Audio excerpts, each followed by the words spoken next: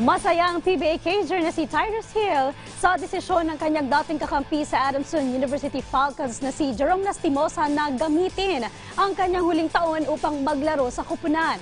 Ang kabuang detalye ay hatid ni Dex Agustini. Nito lamang nakaraang linggo ay tiniyak ng Adamson University Falcons standout na si Jerome Lastimosa na hindi siya aalis sa bansa.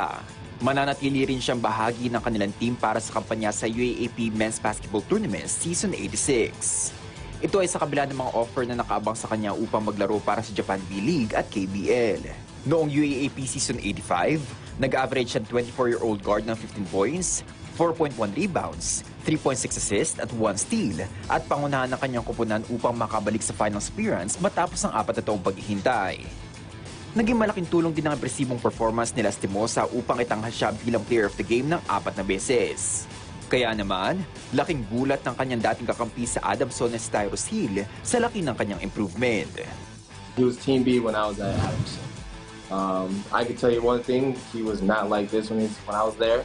He has really grown into a great player, and I'm actually proud of him. I text him here and there all the time, tell him to keep it up. Thanks me, like, thanks Kuya, like can't wait to see you again. Da da da. Like even like at at Basal, we had like um, little side games for UF. I think it was like dunk contest and the one-on-ones and all that. You know, just seeing those guys again, especially seeing him, it was fun. Anya, masaya siya sa naging desisyon ng 5'10 cager na manatili dito sa bansa upang tapusin ang kanyang karera sa collegiate basketball. you know, even though they lost, but it's all right. Um, those games were really on on him, and he can handle the pressure. He really can.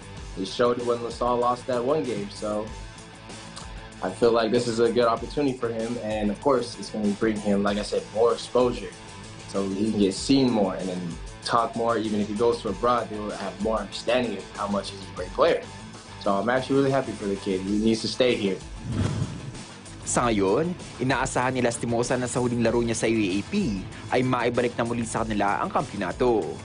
Dex Agustini, PTV Sports.